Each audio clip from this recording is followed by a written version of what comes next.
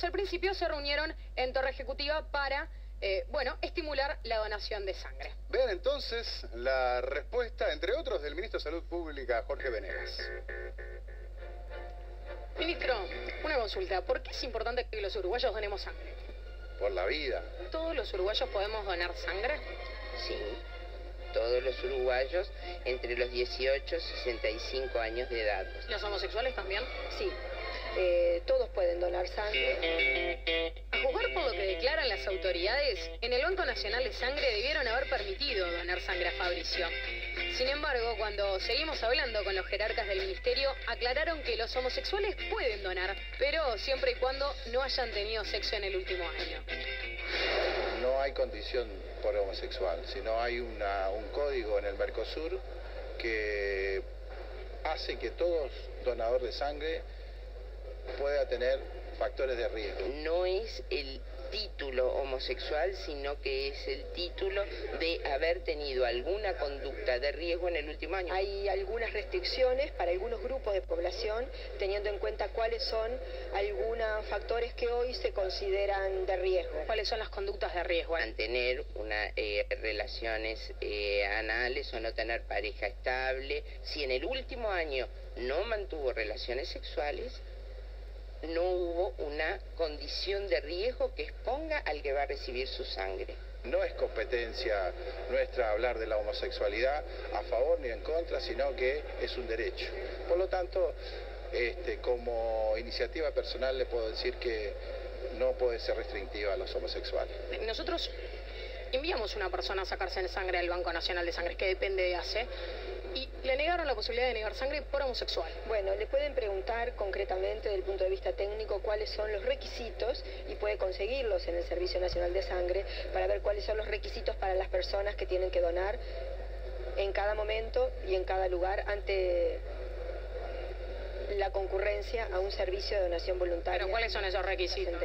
Se los consigo en un momento y se los doy. No queremos discriminar a nadie. Nuestro espíritu es que puedan donar sangre. ¿No se está discriminando no ya no? No, no lo tienen que tomar de esa manera. pero si un homosexual no puede tener relaciones sexuales con su pareja, pero podemos hablar de otro ítem, como por ejemplo, si tú te hiciste un tatuaje hace tres meses, tú no podés donar. ¿Y yo te estoy discriminando por eso? No, estoy preservando al que va a recibir la transfusión. Una cosa es un tatuaje y otra cosa es la forma de vida que yo quiero elegir, el estilo de vida y la pareja y lo que yo quiero tener. yo no te lo estoy poniendo en tela de juicio. ¿Cómo que no? Si no me deja donar sangre por homosexual. Viste en el último año alguna actividad de riesgo, no podés donar. Entonces a todas aquellas, aquellas mujeres tampoco que realizan sexo anal con sus maridos tampoco pueden tener, donar sangre. cosas que nosotros tomamos en cuenta cuando tenemos la entrevista con el entrevistado. ¿En qué se está trabajando en ese sentido para revertir esta situación? Hay que revisarla a nivel internacional, es un acuerdo Mercosur. El Mercosur no está mal, ministro, porque sabe que la OPS dice exactamente, se lo leo, dice la orientación sexual Dice, heterosexualidad, bisexualidad, homosexualidad no debe ser utilizada como criterio para la selección del donante, ya que no representa un riesgo por sí misma. Estoy de acuerdo, por eso hay que revisar. Hay que Hablar con el resto de los ministros del Mercosur. siempre hemos estado sobre ese tema. ¿Cuándo tiene reunión? ¿Perdón? Si tiene reunión con los ministros del Mercosur en algún momento. Una semana tuvimos una reunión del Mercosur de todos los ministros y ahora vamos a tener una reunión este, de UNASUR con todos los ministros de Salud Pública. ¿Se va a plantear este tema? Siempre estado planteado. La discriminación no debe estar dentro de las leyes.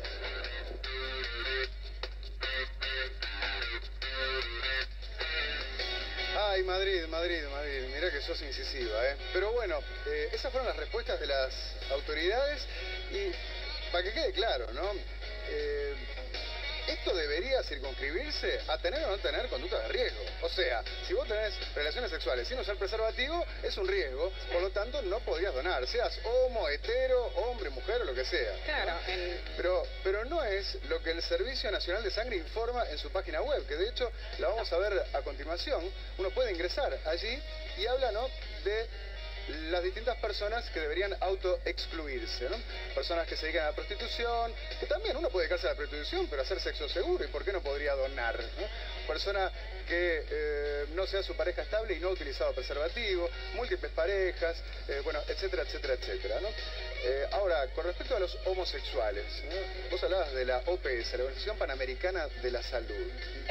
Sí, me parece que diera vergüenza decir en la página nacional del Servicio Nacional de Sangre que los homosexuales en Uruguay no pueden donar. Si no pueden donar, lo lógico sería que figurara en la página web para que las personas que tienen intenciones de donar eh, y son homosexuales ni siquiera se tomen la molestia de ir hasta allí y hacer todo el trámite, hacer un ayuno que implica para donar sangre.